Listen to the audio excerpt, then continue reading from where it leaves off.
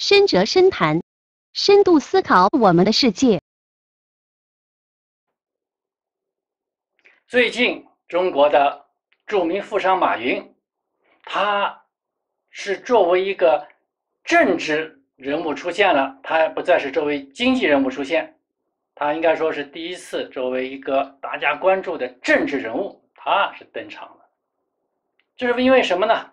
这是因为马云他拥有的香港南华早报，在七月十八日发表了一篇揭露中共中央办公厅主任栗战书他女儿和女婿具有重大经济嫌疑的这么一篇文章。虽说一天之后啊，这篇文章啊，他又被南华早报给撤销了，但是马云向栗栗战书发难，以及向栗战书背后的习总书记发难。这件事啊，它已经成为了事实，你想抹也抹消不掉的。有人说啊，这篇文章是在马云不知情的情况下，他由南华早报的这个编辑他擅自自己发表的。这件事情啊，应该是不太可能发生的，因为什么？因为马云他是南华早报的大老板，这是他一个人管的，别人是不能插手这件事情的。假如你是南华早报的责任编辑，那么你呢？如果稍微有一点点政治头脑的话，你看到这一篇揭露栗战书家族的这么一篇非常敏感的文章，你就马上会意识到这篇文章啊，它是一篇关系到马云身家性命的文章，它是一篇会给马云带来非常大麻烦的文章。如果你是，责任编辑的话，你怎么可能不向马云汇报一下就擅自发表呢？当然了，除了你是想故意陷害马云，故意要害马云一把，那是另当别论了。所以，我们如果在排除了故意陷害的这么一个前提之下呢，那么马云不知情啊，这是不可能的。那么问题就来了，马云他发表这么一篇具有非常爆炸性的那个文章啊，他的心思是什么呢？他的用意是什么呢？我们这里分析一下。据郭文贵说，在七月十七日到七月二十日是中国高层他们召开北戴河会议的一个高潮阶段，在这个阶段呢。这是在这个各个参加北戴河会议的老领导也好，新领导也好，他们要讨论十九大这个人事问题。栗战书啊，我们都知道他是进入十九大政治局常委的一个非常热门的人物，所以呢，在北戴河这个会议上，这些新领导和老领导啊，他们肯定是要讨论一下栗战书。他这个入常的问题，就是进入政治局常委的问题，他们要讨论一下栗战书他合适不合适进入常委，或者是他应该不应该进入常委。那么讨论十九大的这个呃常委的人选呢，他是只有现在的政治局常委和前任的政治局常委，他们是才有资格讨论的。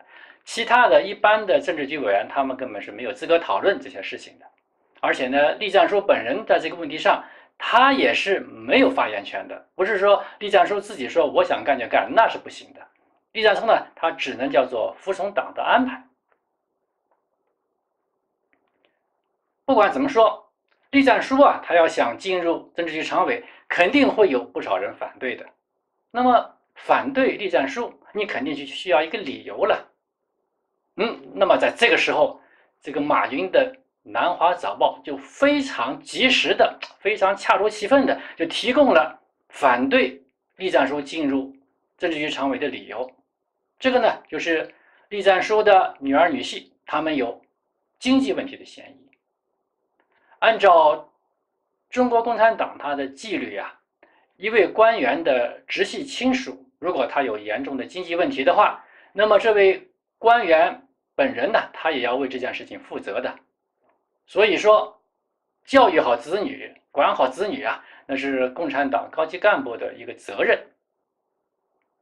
现在，栗战书女儿女婿有了重大的经济嫌疑，那么按照中国共产党的党规，栗战书他是有责任的，所以呢，反对派就可以恰如其分的正好来利用《南华早报》这篇文章啊来做文章，来作为反对栗战书他进入政治局常委的一个理由。当然了，反对栗战书政治局进入政治局常委能不能成功，这是另外一回事。可是呢，马云《南华早报》这篇文章啊，就可以提供一次阻止栗战书入场的这一次机会。所以呢，我们如果认为啊，马云发表这篇文文章的动机，他就是意在阻止。栗战书来进入政治局常委，那么是不是有这么样一种可能性呢？当然，大家各有各的看法，这里只是谈一谈我自己的看法的。不管怎么说，马云他在《南华早报》上发表这么一篇震撼性的文章，他肯定不是那种毫无目的的，他肯定是有一个他内在的心思和一个内在的动机。好，这里。分析完马云的心思以后啊，我们再分析一下习近平的心思。因为十九大是中国共产党它建国以来啊第一次这么非常奇葩的一次会议。这是为什么呢？因为在以往的这个党的全党代表大会上，它是只有一个核心的，可是这次十九大，它开天辟地出来了两个核心。所谓核心这个概念，其实是邓小平提出来的。邓小平说，毛泽东是第一代核心，他本人呢是第二代核心，江泽民是第三代核心。邓小平所说的核心啊，它并不是指法定的那么中共的最高领导人，他是指的是什么？就是具有比法定最高领导人更高权威的那么一个人，也就是说，是一个事实上的党和国家领导人。当时，呃，戈尔巴乔夫访问中国的时候呢，当时候的总书记赵紫阳他就跟戈尔巴乔夫解释说：“我们的邓小平同志才是真正的党和国家的最高领导人。”所以呢，在那个时候啊，像什么胡耀邦啊、赵紫阳啊，他们虽然名义上都是法定的中共最高领导人，但他们不是核心，而。相反啊，邓小平他自己从来没有担任过法定的，就是说第一把手或者是法定的最高领导人。可是呢，邓小平他是核心，他是事实上的一把手和最高领导人。而且还有一个很大的特点不同是什么呢？就是这个核心啊，它和法定的最高领导人是不一样的。中共它规定啊，法定的这个最高领导人就是中共总书记，他的任期啊是十年，他这个任期是有限的，你过了任期你是要退休的。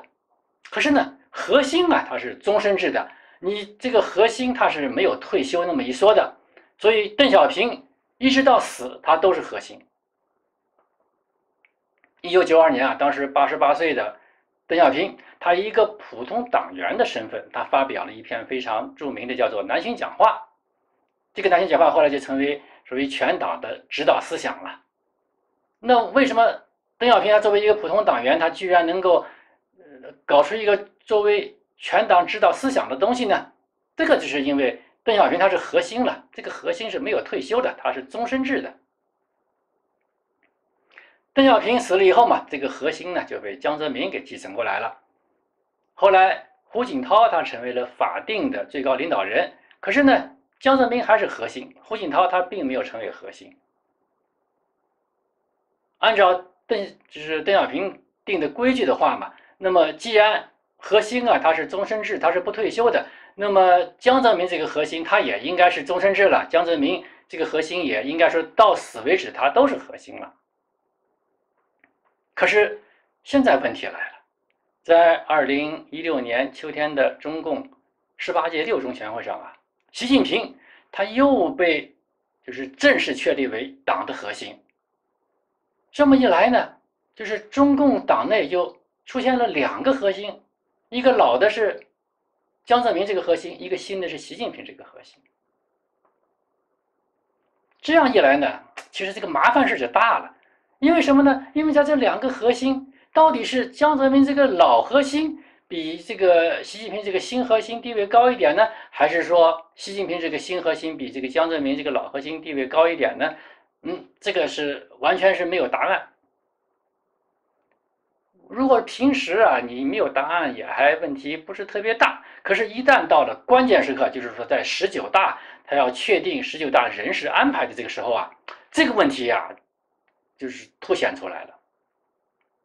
在十九大这个人事安排上啊，那么是江泽民他这个老核心的发言权大，还是习近平他这个新核心的发言权大呢？这个其实是一个非常至关重要的问题了。我们打个比方，假如啊，习近平他提出说是这个。栗战书他应该进入常委，可是呢，江泽民反对栗战书进入常委。那么这件事情到底最后是习近平说了算呢，还是江泽民说了算呢？所以呢，习近平他的心思啊，他就是设法呢，要在十九大这个政治局常委的这个人事安排上啊，他要压过江泽民这个老核心，他要拿到最后的，就是决定权，也就是说。习近平这个新核心啊，他要设法要压倒这个江泽民这个老核心，他要成为真正的最高的那么一个核心。不过呢，习近平他要想成为一个真正的最高的核心啊，他还是需要有足够的这个支持者和拥护者。你一个人说了肯定是不行的。我们再来看，在十九大这个政治局常委啊，他这个人事安排上的话。发言权呢？那当然是只有前任的政治局常委和现任的政治局常委，他才有发言权的，别人是没有发言权的。那么，在前任的这个政治局常委中间啊，比如说朱镕基、胡锦涛、温家宝这些人当中，那么有几个人会支持习近平成为最高核心，压倒这个江泽民这个老核心呢？那么在现任的常委中啊，有六个，就是李克强。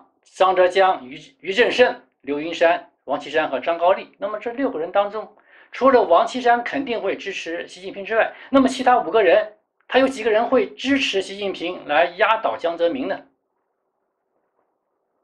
很显然啊，如果在这个前任常委和现任常委中，我们要搞一个投票的话，那几乎我们可以肯定，习近平他是得不到这个多数票的。这样一来呢，习近平啊，他其实只有两个选择了。第一个选择是什么呢？就是跟老领导我们平分权力，在十九大这个常委的这个人事安排中啊，老领老领导的人你占一半，我习近平的人占一半，这就是所谓的平分权力吧。这样一来呢，这个所谓要新核心和老核心的这个问题啊，是可以和平解决的。但是呢，这样一来呢，习近平他又不能完全摆脱。江泽民的控制，他还是要受到江泽民一一定的控制了。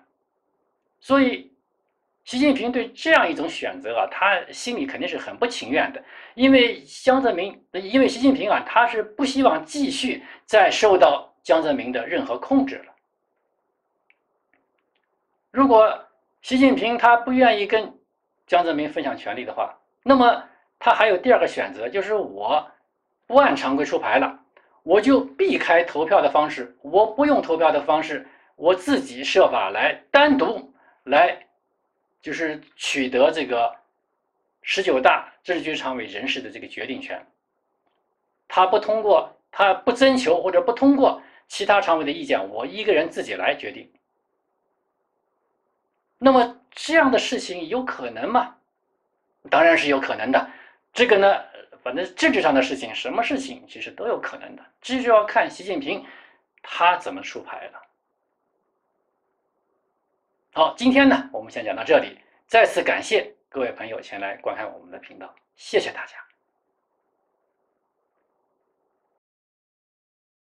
敬请有兴趣的朋友们继续前来观看，谢谢大家。